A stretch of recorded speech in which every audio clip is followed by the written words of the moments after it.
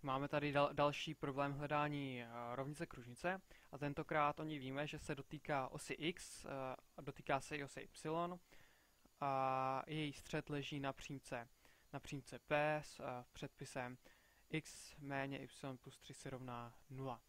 Takže, když si to zakreslíme zase do souřadné do, do souřadné soustavy souřadnic, tak máme, tady máme x osu, tady máme y osu.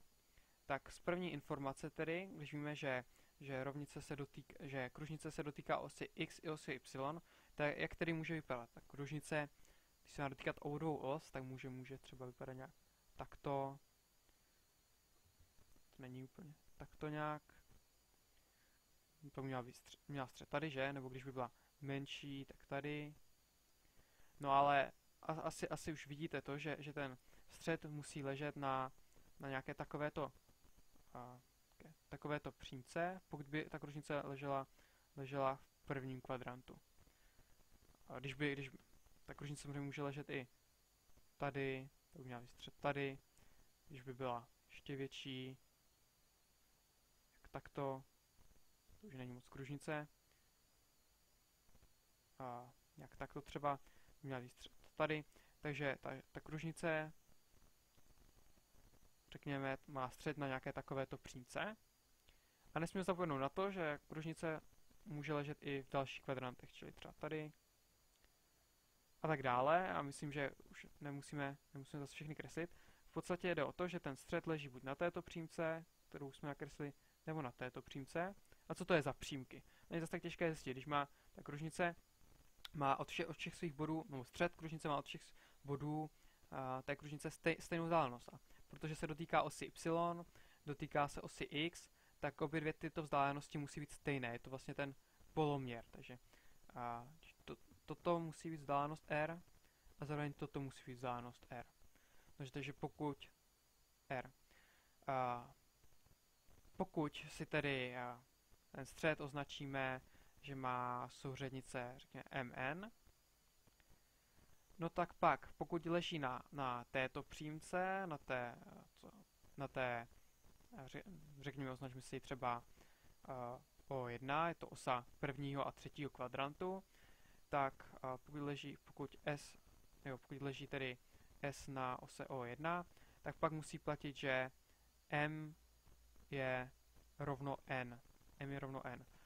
Mírně jiná situace je na, na druhé ose, na ose O2, si označíme, osa, třetí, čtvrt, uh, osa uh, druhého a čtvrtého kvadrantu, protože, když se na, uh, podíváte třeba na tuto kružnici, uh, tak teďka teď tato přímka, přímka je vlastně, uh, přímku můžeme zapsat jako y se rovná méně x, že? Protože když máme uh, třeba tady uh, v tom čtvrtém kvadrantu máme, máme uh, kladnou xovou souřadnici, to je kladná, zatím, zatímco y souřadnice je záporná.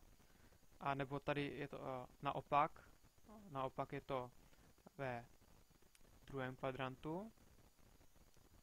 Ve druhém kvadrantu máme, má ta souřadnice je souřadnice uh, xová, xová je teďka záporná, xová je záporná, za to je kladná, uh, kladná y.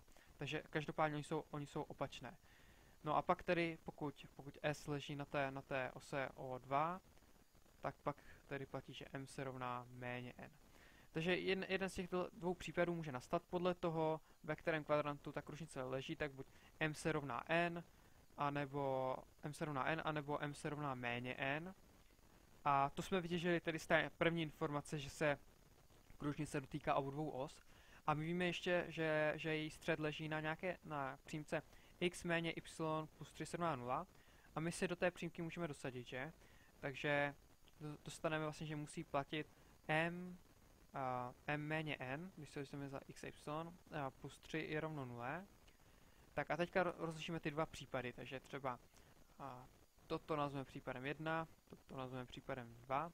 Takže v prvním případě, kdy se m rovná n, a my víme, že m méně n plus 3 se rovná 0, jsem jenom obsal tady tento vztah, tak pokud se m rovná n, tak musí platit, když si za n dosadíme m, že 3 se rovná 0.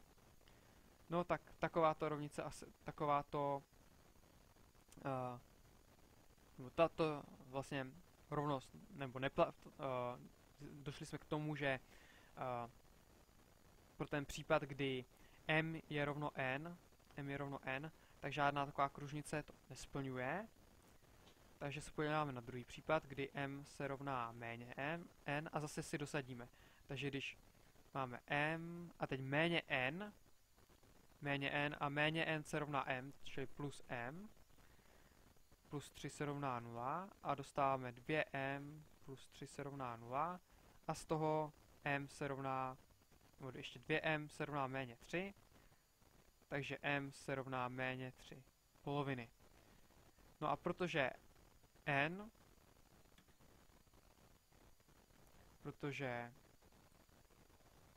n se rovná méně m, že je to tež, tento vztah můžeme, když vynásobíme minusničku přes jako n se rovná méně m, tak se rovná 3 poloviny, jo? protože m je méně 3 poloviny krát méně na je 3 poloviny.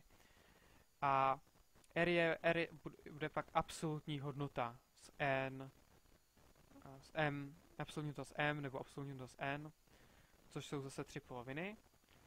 A potom r na druhou je tedy 9 čtvrtin.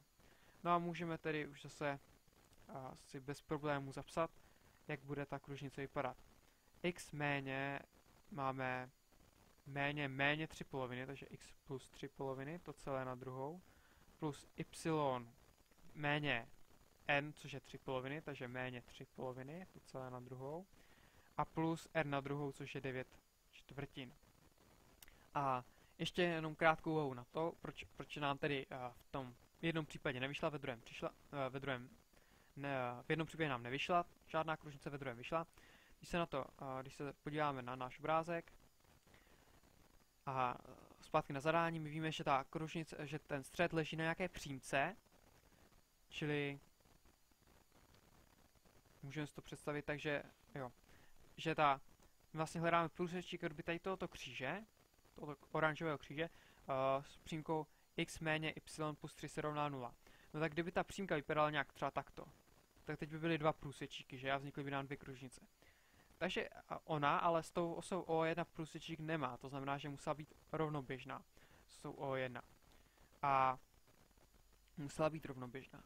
Třeba vypadal nějak, a jo, možná se můžeme trochu aj podívat, jak by měl vypadat, když ještě, ať doufám, chtěl bych, aby bylo vidět, aby bylo vidět náš výsledek, nám vyšlo x plus 3 poloviny, čili ten střed je, ten střed by byl méně 3 poloviny, 3 poloviny, čili ten, bylo by to ve druhém kvadrantu, někde tady třeba, to máme bezrozměrné, tak řekněme, že je to třeba tato kružnice s tím středem, a ten poloměr je tedy 9 čtvrtin, tak, takže třeba tato kružnice to byla, ta kružnice. No a pak ta přímka, ta přímka, co byla na začátku, a, co byla zadaná, a, x méně y plus 3, plus 3, musela být tedy rovnoběžná s osou O1, že? Musela být rovnoběžná, protože se s ní nikdy neprotla.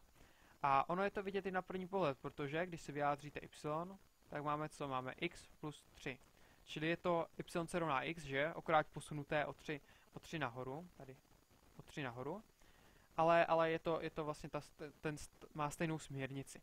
Takže my jsme jako by ten případ, kdy M7 a N nemuseli řešit, ani pokud byste tady toho netka všimli. Takže to je jenom a, ten důvod, proč, proč existuje jenom jedno řešení. Že, ty, že ta přímka P byla rovnoběžná s osou jednoho z kvadrantů. A výsledkem je tedy výsledkem je a, tedy rovnice x plus 3 poloviny to celé na druhou plus y méně 3 poloviny to, co je na druhou 7 na 9 čtvrtin.